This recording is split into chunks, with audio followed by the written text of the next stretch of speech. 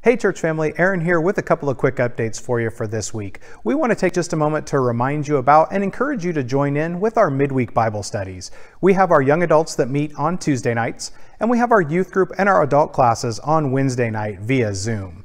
So we hope that you're able to join us for those classes as well. We also want to take just a moment to remind you about our Sunday morning live stream that happens at 10:30 every Sunday morning.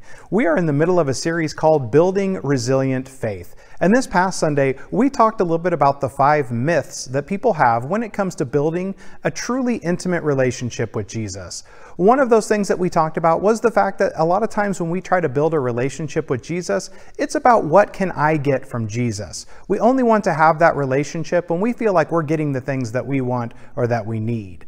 Another myth that we talked about was trying to build a fully intimate relationship with Jesus this side of heaven. And we know that that, that is going to be a very difficult thing for us to do. That one day when we're with Him face to face, we can truly have that fully intimate relationship with Him that we so desire.